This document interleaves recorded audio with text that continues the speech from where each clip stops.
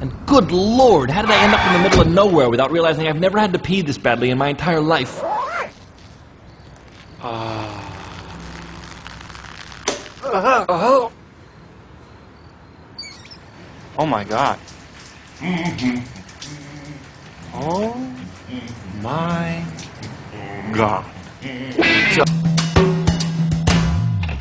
This is perfect.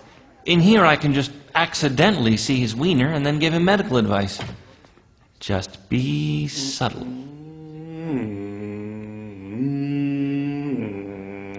I take your order? How come you're not unzipped? Because I'm not peeing. This is where I come to take my breaks. If I stand around out there, everyone tells me to do stuff. Look, uh.